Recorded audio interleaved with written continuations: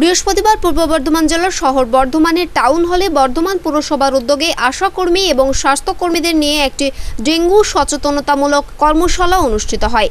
এদিন এই কর্মশালায় উপস্থিত ছিলেন বর্ধমান পুরসভার পুরপতি পরেশচন্দ্র সরকার, পৌর আধিকারিক জয় রঞ্জন সেন, বর্ধমান পুরসভার জঞ্জল এবং বর্জ্য নিষ্কাশন দপ্তরের কর্মীবৃন্দ। এই কর্মশালায় কীভাবে বর্ষার সময় ডেঙ্গু থেকে রক্ষা পাওয়া যায় এবং ডেঙ্গু রোগের মশাকে রোধ করা যায় সে বিষয়ে বিস্তারিত আলোচনা হয়।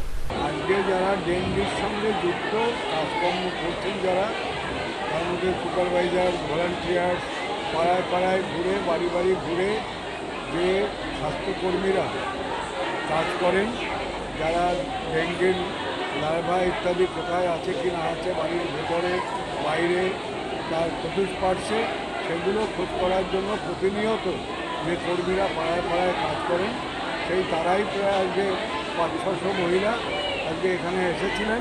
তাদের নিয়ে আলোচনা হলো। আগামী দিনগুলোতে রেগুলার প্রোগ্রামের মধ্য দিয়ে তারা এই কাজটা করবেন, বাড়ি বাড়ি যাবেন, সব সাবজেক্ট জিনিসটা আরেকজন জিনিসটা করছেন। এটা কিন্তু সঠিক প্র্যাকটিস নয়।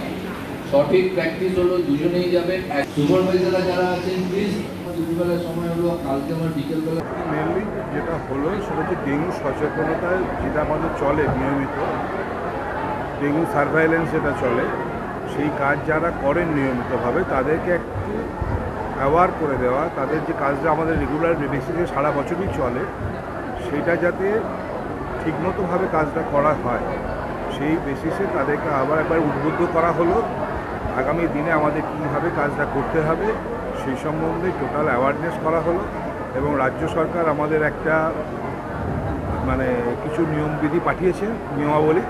সেইগুলো সবার মধ্যে সার্কুলেট করা হলো।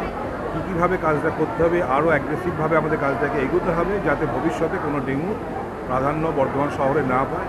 সেই কারণের জন্য আজকের এই মিটিংটা রাখা সভাটা রাখা। বর্ধমান থেকে পিন্টু প্যাটেল এবং টিঙ্কু সবার রিপোর্ট, আনন্দবার্তা।